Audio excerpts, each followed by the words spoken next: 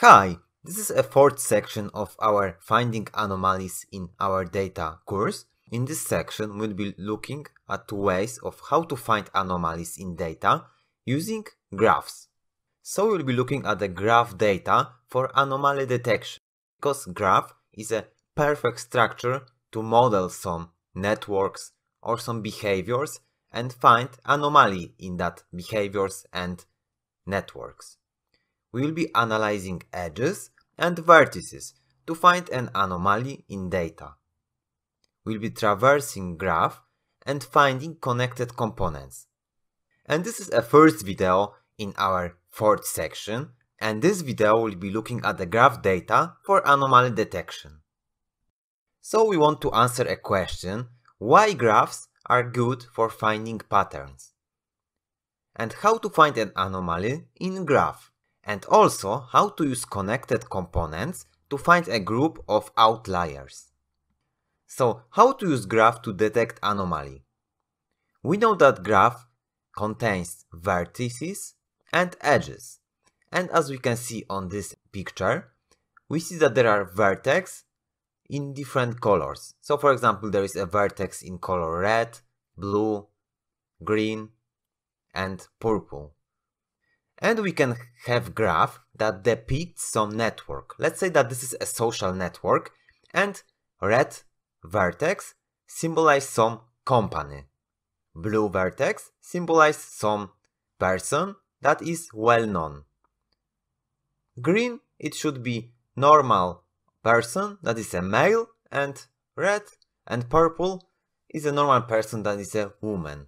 We can have some rules, like for example, the company, red one, could have all at most, let's say, five well-known person that are interested in that company.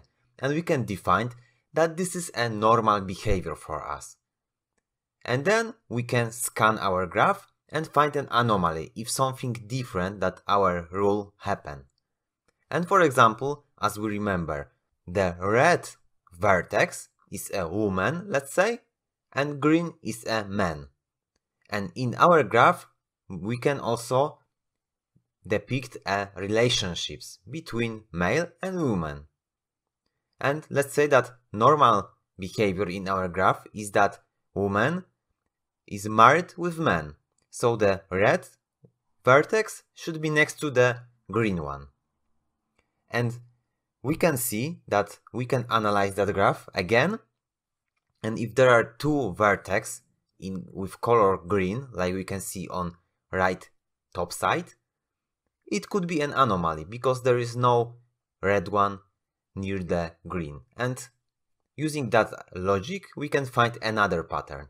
And using graph, we can find a lot of different relationships, a lot of different behaviors and patterns, and also a lot of anomalies. And we'll be using that knowledge to find that anomalies in our source graph.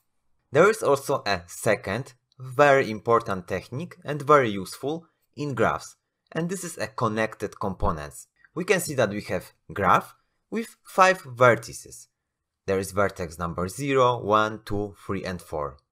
We can see that there are two connected components and so connected component is a group of vertices that are connected with each other we can see that 0 is connected with 1, 1 with 2, so 0 is also connected with 2 because we can travel from 0 to 2 through 1.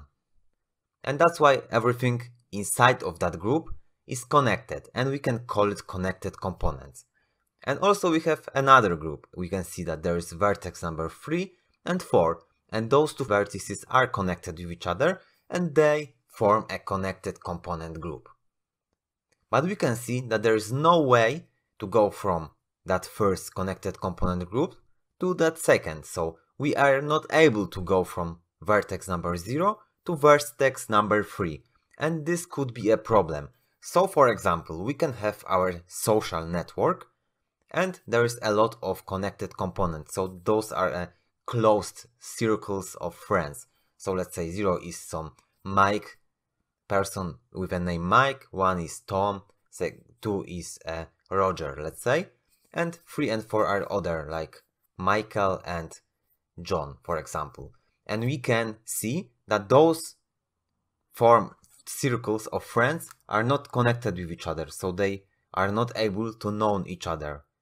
And using that fact, we can find out which groups know each other and when is an anomaly. So for example, we can have our social network and we can find out that there is that one person that has only one connected component and that connected component only with ourself.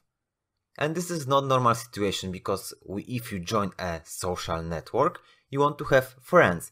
And if you don't have any friends there, it could be potential dangerous, some anomaly or some maybe hacker attack.